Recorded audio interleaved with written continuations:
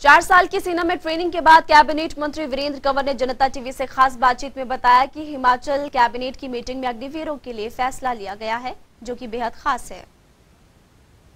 मुख्यमंत्री जी का धन्यवाद करता हूँ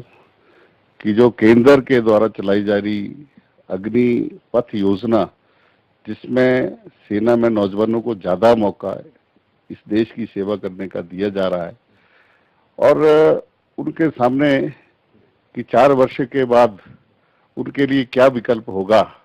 जैसे अन्य प्रदेशों के अंदर, विभिन्न सरकारों के द्वारा और केंद्र की सरकार के द्वारा भी ये निर्णय लिया गया है कि जहाँ सेंट्रल फोर्सेस में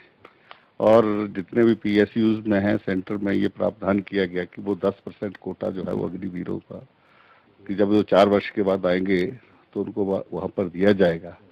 हिमाचल प्रदेश ने भी, क्योंकि ये वीर भूमि है यहाँ के नौजवान जो है वो सेना में देशभक्ति से प्रेरित होकर के जाते हैं। वो इस देश की सेना में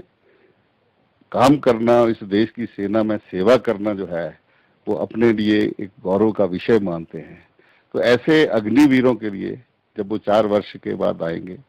तो हिमाचल प्रदेश की सरकार उनको रोज शत प्रतिशत रोज़गार जो है वो देगी। ये निर्णय जो है वो आज मंत्रिमंडल की बैठक में जो है वो लिया गया है।